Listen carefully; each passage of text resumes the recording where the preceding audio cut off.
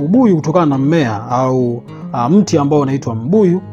Uh, mti huu kitaalamu huwa unaitwa Adansonia digitata. Mm, ni neno ambalo la kisayansi. Huyu mara nyingi unatumika na watu wengi sana. Sasa uh, kiufupi, kabla sijaendelea na somo, ningependa kuzungumzia kuhusiana na historia kidogo ya mti huu wa ubuyu au mti huu ambao unaitwa mbuyu. Sasa zamani kwamba mti huu walikuwa wanauita ni mti wa uzima, yani walikuwa wanaita tree of life kwa sababu ya sifa zake kama sita hivi.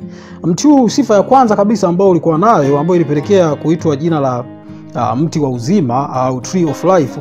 Sifa ya kwanza uh, mti huu ulikuwa ni kama maradhi au tunasema kwamba ni makazi. E, zamani kuna baadhi ya watu walikuwa wanaishi ndani ya huu mbuyu yaani kwamba uh, kwenye mbuyu ambao ni mkubwa ulikuwa unatumika kama nyumba au sehemu ya maradhi ya baadhi ya watu.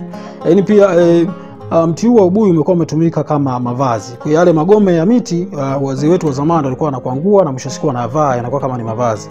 Lakini pia sifa ya tatu ambayo ilipelekea mti huu kuitwa mti wa uzima ni chakula. Mara nyingi mti huu unatoa matunda ambayo mwisho siku unaweza kupata ubuyu au unga ubuyu ambao unatumika kama chakula.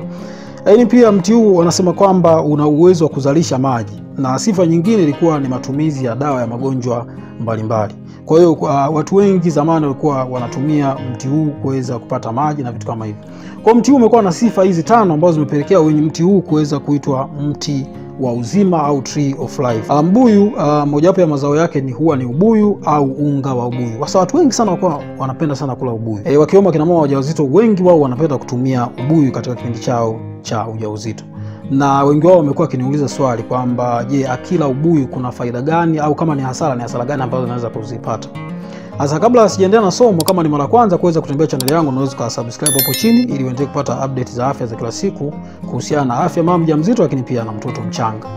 Lakini pia unaweza ukanifuatilia pale Instagram kwa kuandika dr nukta dash mwanyika, lakini pia unaweza ukanifuatilia kwenye grupu langu la WhatsApp, unalipia elfu mbili kila mwezi na utakuwa unaniuliza maswali na mimi nitakuwa tayari kuweza kujibu kwa wakati wote. Eh, anasema kwamba ubuyu au unga wa ubuyu mtu anapokuwa anatumia anapata vitamini C nyingi sana. Maana yake vitamini C ambayo ipo kwenye ubuyu ni zaidi ya mara sita ya vitamini C ambayo ipo kwenye matunda, kwa mfano kama tunda ambalo ni chungwa.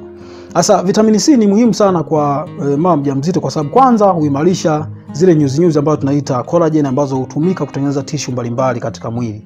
Lakini pia tunakumbuka kwamba uh, kwa mtoto kuna kuta ambazo zinamzunguka Eh, eh, kuta hizi huwa zinaimarishwa na nyuzinyuzi nyuzi ambazo zinaitwa collagen. Kwa hiyo vitamin C huwa inahusika ina, ina zaidi kuweza kutengeneza hizi collagen na mwisho wa siku mama mjamzito anakuwa katika mazingira mazuri ya kiafya. Lakini pia vitamin C ni muhimu sana kwa mama mjamzito kwa sababu uh, hutumika kuhamasisha ufyonzwaji wa madini chuma ambayo yanatokana na mimea au madini chuma ambayo yanatoka kwenye vyakula vya mimea kwenda kutoka kwenye utumbo kwenda kwenye damu. Faida nyingine ni folate. E, tunajua kwamba mama mjamzito anahitaji folic acid ya kutosha au vitamini B9 kwa ajili ya matumizi ya kuweza kuhakikisha kwamba vinasaba ambavyo vinatumika kutengeneza seli hai nyekundu za damu inatengenezwa nyingi, lakini pia na kuhusika katika kuzuia eh, kuweza kujifungua mtoto ambaye anaweza kawa na kichwa wazi au mgongo wazi, kwa sababu uh, ubuyu una kiasi kingi sana cha vitamini B9 au tunasema kwamba folate. Kwa hiyo huweza kuongezea kiasi fulani cha folate katika kipindi chako cha ujauzito.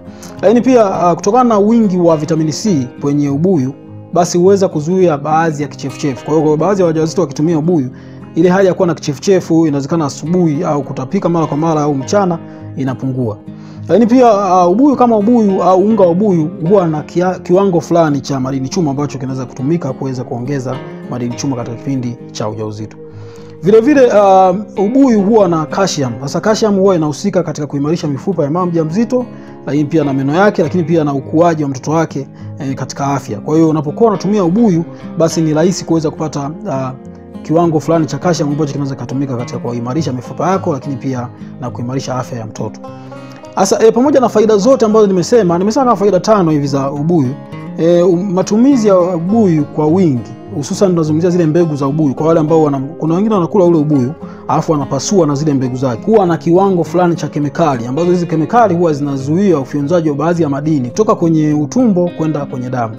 Kuna baadhi ya kemikali, kwa mfano kuna oxalate, kuna phytate au tannin zenyewe zipo kwenye mbegu zile za ubuyu. Kwa hiyo zile mbegu za ubuyu, kwa wale ambao wana mtindo wa kupasua na kuweza kuzitafuna, basi wanapata kemikali hizi ambazo zinazuia ufyonzwaji wa madini chuma kutoka kwenye utumbo kwenda kwenye damu, na mwisho siku unaleta changamoto kwa baadhi ya madini ambayo yanatakiwa yafyonzwe kutoka kwenye utumbo kwenda kwenye damu kwa ajili ya kufanya kazi kwenye mwili. Kwa hiyo mwisho wa siku, kwa mtu ambaye anatumia ubuyu na mbegu zake anazitafuna mwisho wa siku anakuwa anapunguza uwezekano wa ufyonzaji wa baadhi ya madini kutoka kwenye utumbo kwenda kwenye damu, hususan madini chuma katika kipindi cha ujauzito. Kwa kama unatumia ubuyu, unaweza ukatumia ubuyu kiasi tu na usitumie ubuyu kwa kiwango kikubwa. Sasa mtakuwa na swali au kuna sehemu janileo, unaweza kuniuliza hapo chini na mtakuwa tayari kuweza kujibu swali lako wakati wote.